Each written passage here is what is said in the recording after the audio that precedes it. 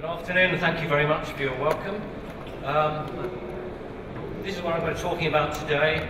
Um, I've only got 20 minutes and I could talk for hours, so I'm going to go really fast through this. Talk a bit about past, present and future in terms of the context of London.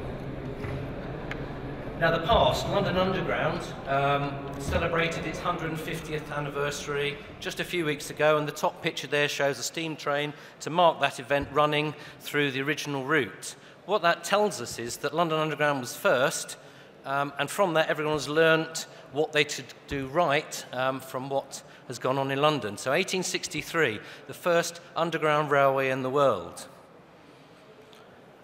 1900 brought around the first tubes, the deep bore tubes, with three more in 1906.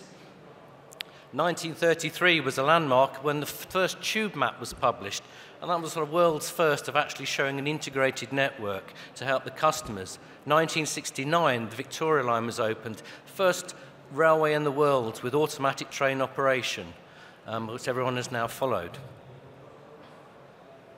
1983, we brought about a revolution in ticketing. Before then, you had to buy an individual ticket. We then introduced the travel card, which meant you could buy one ticket and travel anywhere. 2007 hit 1 billion journeys on the underground. So that's the underground. That's sort of the past, the legacy that we have in London. Um, I'm now going to talk about London Overground, which is one of the newest um, services in London, um, for which I'm actually responsible for myself personally. Now, Overground is London's only orbital rail network. The last bit shown in dotted there on the map was actually opened by the Mayor, Boris Johnson, on the 10th of December. So we've been running that now for about two months. Uh, and after one month, we had a million passengers already travelled on it. But it has, like lots in London, a, a real legacy, a real history. Some old pictures are there, what it was like. Um, and Transport for London was formed in the year 2000, and in TfL we had the vision of actually doing something about these underutilised and underinvested railways. So in 2005, the government gave us the authority, the ability to take over rail services in London. So that's when the concept of London, London Overground was first formed. Uh, and that shows a picture of one of our new stations that we built. So on, on the left there, you can see the old trains with graffiti. Um, on the right, you can see the new trains that we introduced um, in the last five years. Um, again, for us, a UK first, when we had open wide gangways, something that Asian metros and Beijing and Dubai does here, where you can walk right through the train, but this was a first for the UK. We also introduced new stations. On the left, there's a new station. Um, on the bottom right was Rotherhithe, again, a station from 1865 that we refurbished. So a right mix of new and old to bring in new services. But what has this actually done? When you look at what customers think about it, in the five years that we've been operating as London Overground, we celebrated our fifth birthday last November, we have seen a 400% increase in customer demand. There's something there that we have, have actually tapped into and, and brought customers. Not only has the demand gone up, the customer satisfaction has gone up. You can see that where we are and back in uh, 2007, we've gone up and we've overtaken other parts of the, of the network, even London Underground. We have a higher customer satisfaction now. And again, the growth, you can see 10 points in, in those and that customer satisfaction. So it's something that we've done that's actually met with our customers. When you dig into that and look at what do the customers actually appreciate, um, condition of the stations, it's gone up from 67 points up to 83. Personal safety, we found that the new trains with the open gangways right through, customers feel much safer in that. Um, you can see the new trains have gone up 57 percentage points of 86, the difference that that has made. And the one at the bottom, which is, I think, one of the most important, is punctuality. The train service delivers what we said it would do. The other thing we've done, of course, is we had an open system. We've introduced ticket gates to actually make our customers pay for what they're using. Um, some of them might not like that, but actually you can see how our ticketless travel has dropped. Um, and that, of course, generates, brings us increased revenue. When you look at the what has caused this significant impact on demand, this, this graph sort of gives, gives it all away. Background growth was there, but actually by investing in the service quality and giving the performance, you've got a major contribution, providing more trains. Um, we've upped the frequency now so that on, for instance, the North London line, running eight trains an hour, whereas used to run about three connectivity. By having a, an orbital network now, we now connect into other parts of the transport system, mainline rail and with London Underground and with Docklands Light Railway. So now passengers can make new journeys. And then with marketing, by actually selling ourselves. So those are the contributions of the factors of how we've increased that customer demand. I couldn't stand up here and talk about what we did without mentioning the Olympics. Last summer, we saw the world as our customer. And everyone said transport's going to be awful in London.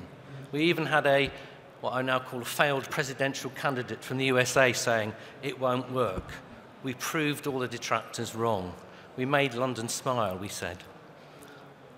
How did we do it? Well, when we look at it, it was a massive challenge to us. 26 world championships going on at once. 9 million Olympic Games specta spectators, 2 million for the Paralympics, 300,000 athletes. And of course, this was badged, and we won the Games on the basis this would be the first ever public transport Games in the world. When you look at the numbers, it wasn't just Stratford where the Olympic Stadium was. We had 200,000 people in and out every day to Olympic Park at Stratford, 90,000 at Wembley. So all around the network, there were lots of passenger movements. Look at the Olympic Park itself, you can see how that was spread out between the, the, the main stadium with 80,000, the aquatic centre, the velodrome, all of those moving in and out. And of course, with the, the Olympic Stadium, you had two sets of, of spectators in, one in the morning, one in the evening. So during the middle of the day, you had all the 80,000 coming out and another 80,000 coming in. We had three peaks, effectively, a morning peak, an evening peak, and a nighttime peak. And the challenge was how could we deliver that and make the service robust? How could we get everyone home at night? So, of course, as you can imagine, there was a huge amount of planning gone in. And I've just got some of the graphs that were used. This picks out, picks out day seven. For instance, throughout the day, the estimated number of passengers going in and out uh, at one particular location. But planning clearly showed us we'd needed to lessen the impact. So we did travel demand management, we communicated, we got a publicity campaign um, to, to, to make people think about their journeys. Looked at how we can manage the stations better. We introduced one-way systems at different times of the day, and they would switch during depending on the demand and what was going on on the events. And travel demand management, a lot of emphasis working with businesses in London to try and get people in London to work at home, to use different travel paths, to start earlier, to finish earlier, uh, even our commissioner uh, won an award, I think, for uh, encouraging everyone to stay late and take a, have a beer before they went home after work. So that's what we did. This shows, for instance, Canary Wharf One Station, which is sort of new financial district for London, showing that the demand throughout the, the Olympic period and where the hotspots would be. So there we had station demand management where we made a one-way system, so you could only go in one exit and out another. We also did works at stations, Stratford being the main station for the Olympic Park. Um, and we did the work and we finished it by the end of 2010. And the secret there was finish the works well in advance of the event. That gave us the ability then to test the, test the infrastructure, to test out the events and proved it all worked. We added in new infrastructure, new bridges, new links. West Ham was a, a, a, near, a station near to Olympic Park a lot of emphasis was put on there to get people to get off there and to walk rather than go through Stratford. And signage, the whole of the network was covered with magenta signs to actually get customers, visitors, knowing where each venue was and what you would get off. And the maps in the trains were changed to have these magenta logos on them. And resourcing. Um, in the TFL, For the duration of Olympic Games and the Paralympics, we cancelled all routine meetings. We got everyone out of the office we could. We had three and a half thousand volunteers. Even myself put on a magenta waistcoat and was out there at Stratford working with the customers. So we mobilised the workforce. They were volunteers alongside the games makers that everyone heard about uh, in the Olympic Park and the other venues. And we communicated to all the staff. Picture there of Mike Brown, the managing director of Rail and London Underground. He gave over 120 sessions, afternoon and morning sessions. He even did nighttime sessions to do with the night shift that people would normally work overnight, maintain the railway, to communicate to all the staff the importance of delivery. Um, a huge investment, but it all paid off. And of course, accessibility, not only for the Paralympic Games, but also the, the visitors. Um, and we promoted it as not only being the public transport game, but the most accessible, accessible ever games. And brought into light there, it shows Westminster, the fireman's lift at the back of house, that was brought into customer use. And we communicated with, with those with disabilities to, with using films on the website so they could understand how that they would uh, be able to travel on the system. And of course, we carried the torch on the special train. Um, of course, all the safety issues had to be dealt with with a flame, live flame inside of a, a train, but we did it. And that's left us with a legacy. Uh, on my bit of the, of the Railway London Overground, we said we carried 50% more customers during the Olympic Games. We reduced delays by 50%. Um, it says one point there, the ER blue light, blue light response. That's our maintenance teams by actually putting a member of the British Transport Police in the maintenance team's vehicle meant they could have a blue light so they could go through traffic lights and get to fix failures quicker than they would normally do so. So that's what we did last summer. Now looking forward to what London is doing, Crossrail. What is Crossrail? Well, it's a new railway. It's a new tunnel through the centre of London, linking two existing railways either side. It'll have 24 trains an hour, 200 metre length trains to start with, and it's estimated to carry 200 million passenger journeys each year. Everyone talks about world class, and the chief executive of Crossrail came to me and said, Mike, what do you think world class is in terms of operation? Because no one had actually written it down. And we've done some work um, th through, through our own team and through consulting others around the world. And what we believe is the most important thing in, in a world-class system is to deliver the performance. That's the frequency, the punctuality, capacity. That's what the customer wants in the end. Interesting, you might think, why haven't we put safety as number one? Well, we believe customers come onto our systems and inherently see them as safe. Safety is important, but it's seen as an inherent part of the system. So number one is performance, customer care. In other words, delivering that customer satisfaction. We've seen what we did on the overground and how that has been responded to in numbers of customers. the other areas there, and that is broadly the order that we feel, certainly on Crossrail in London, what we, we are looking at world class to be.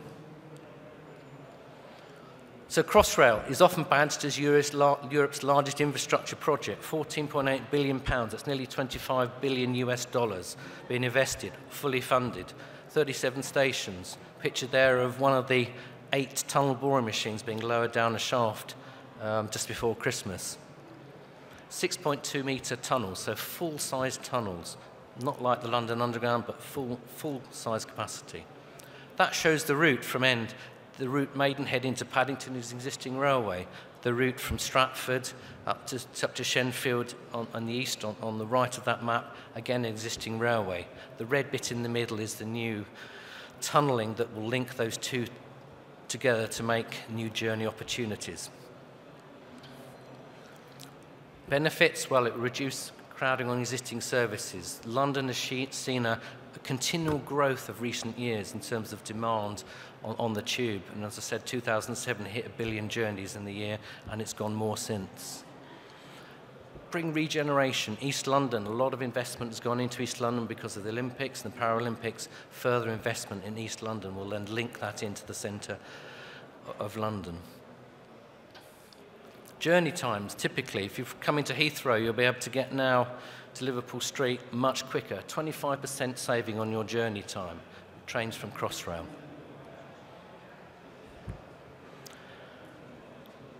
That just shows the central section. That's where the tunnelling is going on uh, at the moment, uh, with five tunnel boring machines under, underway. Around about four kilometres of tunnelling already completed. The aim to finish tunnelling by 2015.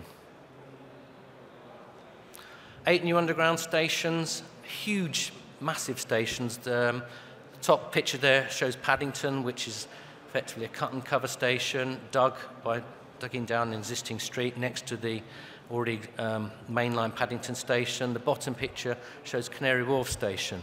Um, the station's underground. That is a hot shopping centre and public park on top of it. Um, and if you go there now, you'll see the structure already in place. But Crossrail, as I've said, is more than just a rail project, it's more than a railway. Um, above a lot of the stations, there'll be overstation developments generating more income to fund the project um, and to generate that economic growth.